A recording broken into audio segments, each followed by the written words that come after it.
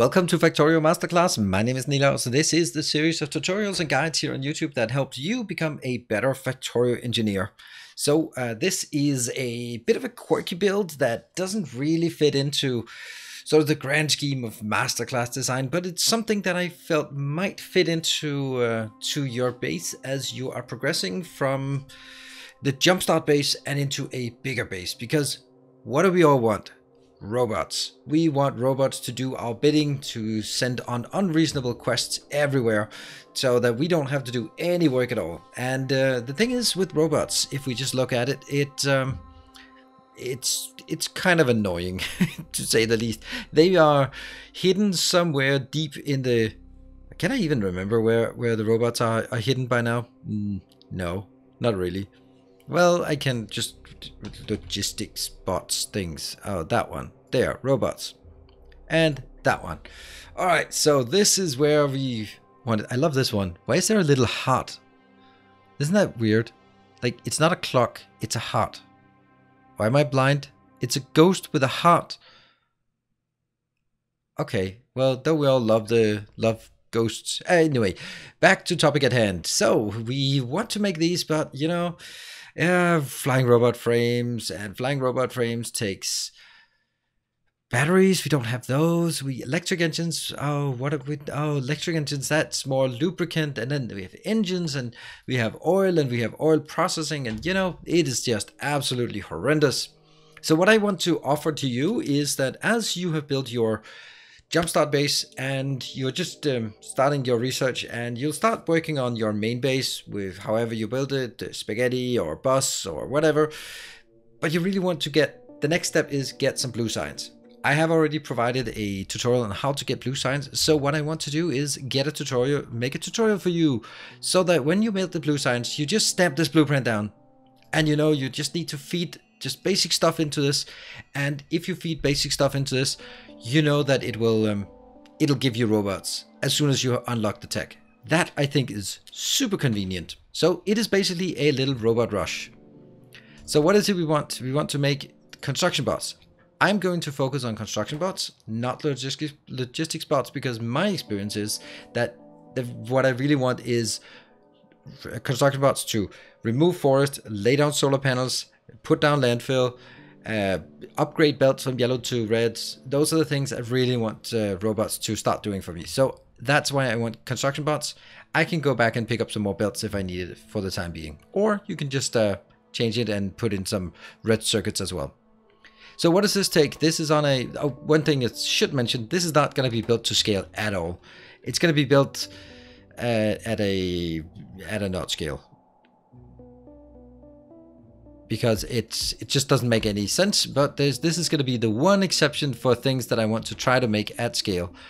I want to make two of these because they're on a 20 second cycle. And if I make this on a 20 second cycle, that means I only get one robot every 20 seconds, and I just don't feel that's enough to really get us going. So I'm going to make one every 10 seconds, but we have to remember the annoying crafting time, so it's to be one every 13 seconds. That's still pretty good. You're going to go out, and 10 minutes later, you will have, I don't know how many you will have. There we go. Uh, it's it's one every 10 seconds, so 0.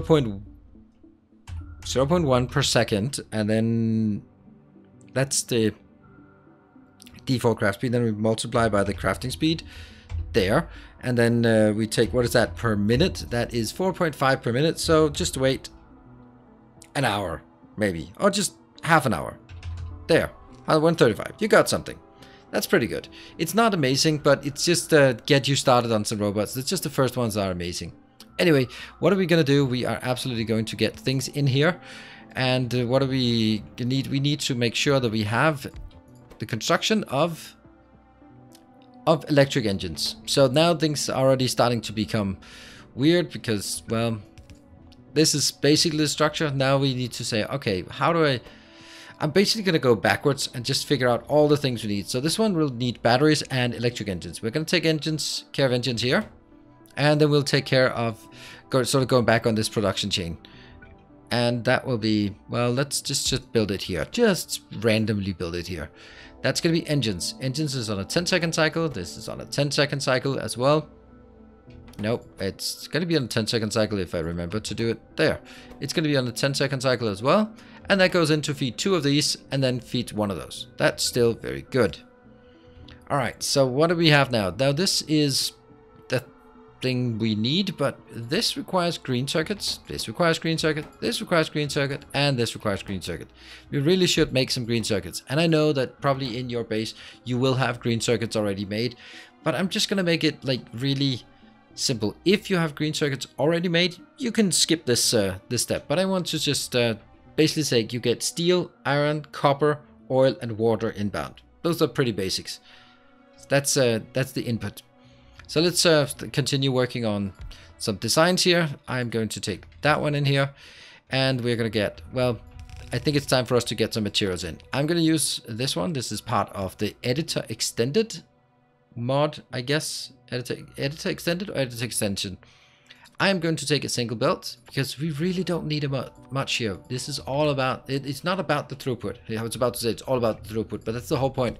It has nothing to do with throughput. This is just getting small things up. By the way, I've also cheated in the case that everything is now powered so that we don't get to see all the blinky blinking in. That's while I'm uh, I'm building it because that's super annoying. Yeah, so this is uh, gonna have to go out, but if I take it out here, that I kind of want this one to be inputs inputs here. Mm, yeah, let's let's do that. So let's uh, let's find a way to get this one done. We are going to need pipes and gears. Those are the things we need for this part. And if I do something like this, and I take it from here, let's see if that works. So this one goes on the outside, this goes on the inside, and this one's super happy. Perfect. So we'll just have to do a longer inserter to get it out on the outside. And let's put it there. So far, so good. That needs to go in here. But I also need to get some steel. This one also needs steel. And this one, so, you know, it would be nice if I could do this one, but that it was also steel. Ah, wouldn't that be good? So I'm going to take this down here and just go only steel on one side, on the inside, because the green ones are coming out on the other side. Well, this is pretty good because now I can get these inbound and also here. So let's see, this one should be getting some greens. It's going to fill this one up first. All right, you're going to get some greens. You should be getting some greens. You're getting steel. You're getting steel. You're not getting engines yet. Why are you not getting engines yet? You should be getting engines as soon as this one is done. Already starting to take shape. Come on, get it for me. Oh, it's already there. We just need the lubricant. Uh, but we also need something up here. So let's uh, just get this one in here. Boom. Yes. Hey, look at that. We're almost, uh, almost, it's almost working almost working. We've done all the easy stuff, right? We've done all the easy stuff. This is all the the solid materials. Now all we need to do to get this working is we need to build some batteries and some lubricant. And batteries require sulfuric acid, which requires sulfur. And so that's, uh, but it also batteries have the fun thing here that batteries also take both copper and iron. Oh, that's not what I want. That one. So it kind of is a good idea to do that. Oh, why? Okay, let's... Oops. Did that work? And I'm just, just to take this out just for a bit. There. Switch it back on. See? No one noticed. Alright, I will take... Here, you will be making batteries. Yeah, because that's going to take these two things. The only thing I then need is to make some sulfuric acid. Sulfuric acid also needs iron, so it kind of has to be here. What you will notice now is that I'm building this and it is completely... Uh, it's completely waste because you might want to go, yeah, but I also want batteries for other things. I don't want sulfuric acid. Yes, but this is the whole point is that you stamp this down in the corner of your base. You feed these basic things in. You forget about it. You come back and go like, oh yeah, I have 500 robots. Nice. That's the essence of it. Uh, that's exactly how it goes. So this also needs some iron in here. So now it just needs some sulfur. Sulfur? Well, it can be made anywhere, can it? Yeah, it can be made anywhere. So we'll just make it like this because I need to get this over here. This is probably the easiest way to get this inbound from that side.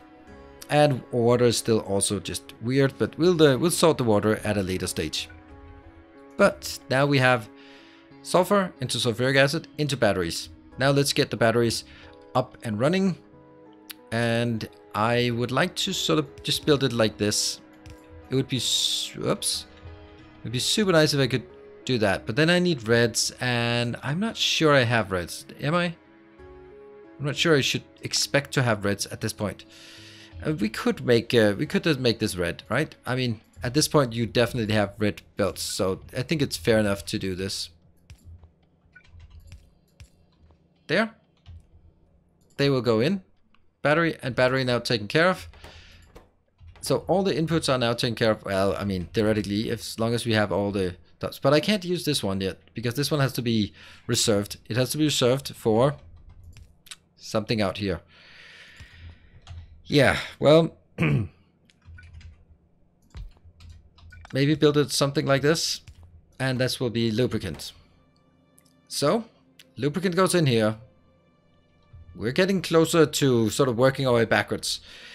Now, things are getting more complicated now because you will need the advanced oil processing. That's the only way you get heavy oil, so you're gonna have to do use this. And for anyone asking about it, no, you cannot use coal liquefaction because that's much later tech. So at this point, what is not a complete coincidence is that I have water, water, and water here. So that's uh, that's already looking pretty decent. I'm gonna take the water here, and that should be able to get from here and into some kind of, of build here.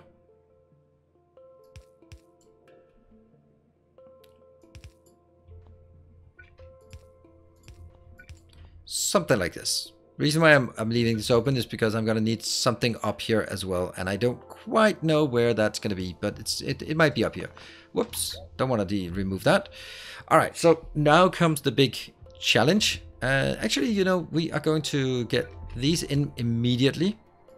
I'm also just designing it so that they come in from the same side. You can get it in from wherever side you want, but it's just kind of nice to sort of have your inputs gathered on one side. I'm going to cheat some resources in here because, well, that is what we do. So uh, this is again the editor extension and we are getting some crude oil. Now you can see this one is working. We get some water in here. Everything is working except for the stuff that isn't working. And uh, let's fix the stuff that isn't working. Now, now the challenge here is, next thing is, this ratio is obviously never going to be correct because I'm going to produce a lot of light oil and I'm going to need to get rid of the light oil. I'm also going to need to get rid of some of the heavy oil because the consumption, I've done some calculations on the usage of petroleum for sulfuric acid for the batteries versus the lubricant, the heavy oil usage based on lubricant for this. And basically just by saying, what if I took all of the heavy oil and convert it into petroleum. Now it's converted into lubricant, take all the light oil, convert into petroleum, and then have the petroleum converted into sulfuric acid. What would happen if I just let that run forever and ever and ever? The answer is I would be run I would have too much heavy oil. So that means we must be able to convert heavy oil to light oil and light oil to petroleum because this one is proportionally using slightly more than that one. It's a bit unfortunate that it is like that. If it was the other way around, it would be easier, I think. But, you know, we are not here to make things easy for ourselves. We're here to make things awesome. I don't know. Efficient, effective. So what I'm going to do is I'm going to have to make some kind of logic here. That one and that one. Oh, look. Things are working.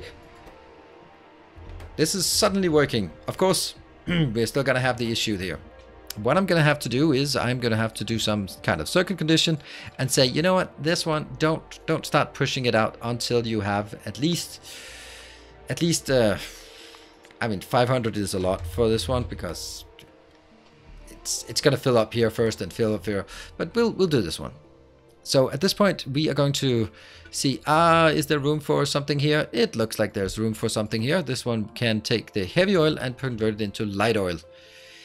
Yeah, that's um, that that's something. That's something, right? It's a pretty miserable location to have it, but uh, yeah, what can you do? What can you do? So what is it? We have the light oil here. We have some light oil here. We're gonna have to find those and move them together. So now we have at least the light oil merged in one location, and then we're gonna get to get it somewhere else. Where would be a good place to get it? And uh, we have water coming up here, so that's probably a good place to make that one. Because that's right where the water is. Cool.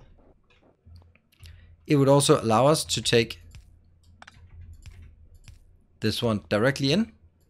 So now the light oil can go in here. Together with some water. It's now processing. That's not bad. Uh, I do feel I'm missing one. Oh yeah, I'm missing water into this one. So let's do that. This one now also has water, but it doesn't have any heavy oil because it's still constrained. All the heavy oil goes in here and nothing really works until this one is done. So now uh, all I have to do is merge these two together here. And boom. That's it. It's that. It's that simple. Now, of course, we have uh, cheated with our with our power poles here. So I'm going to remove these bonus power poles. And then we can see blinky blinky. And uh, I will then fix the blinky blinkiness. And we're going to start by getting something from out here so we can at least get some power in. Where would be a reasonable location to make one? There? I'm gonna, I mean, on one hand I want to try to make it sort of symmetrical in some ways, but on the other hand I just have to accept that it's not going to be symmetrical at all. Just This is now covered, now let's see if we can cover all of that, that looks good. Then get up here, yeah I can't get both of those, so I kind of have to build something. And this one's good, and that one's good. Now everything is powered and we just need to throw in a few lights here and there. There and there, that's some good locations for lights. I'll take a light here and then a light up there. Now we also have lights. Now what we need to do is just let this roll for a bit. We're seeing that this is working. Actually, I have a command we're going to use here. Just run it at 10 times speed, just so we can see that things are working. This is a here, oil comes in. It's not using particularly much oil, but generally we will also see that everything gets consumed. Here, this is the interesting thing. We'll see this now start backlogging into here, into this one. And only when that happens, when this one is full, you can see it slowly, slowly, slowly uh, increases. Even when this, it's just slowly increasing. And this doesn't seem like much, but the fact that it's increasing means that I have to deal with it. And you can see now it actually starts actually filling in here, which is awesome. 65. And only when it gets above 200 will it start pushing into this one. You can see over on the right hand side, it says, says product finished, zero. It's only when this one increases, you can see it slowly increases. Oh, then it just uh, went down a bit, but then it uh, fills up again. Over here, these, this, that one, that, the engines, electric engines, and the two, uh, what are they called? They're called robot frames are all working. This is sort of the motor of it. This is the bottleneck. These are all worked at ratio.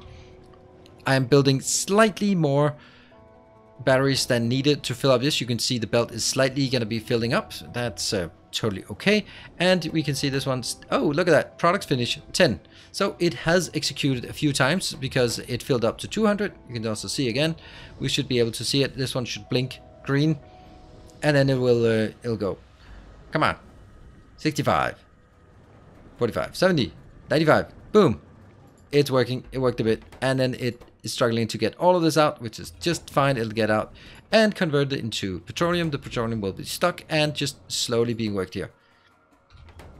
And it works. Everything works. This one, this looks a bit bad, but it's actually not bad because as long as as long as I have this here, this one will always be in an idle state.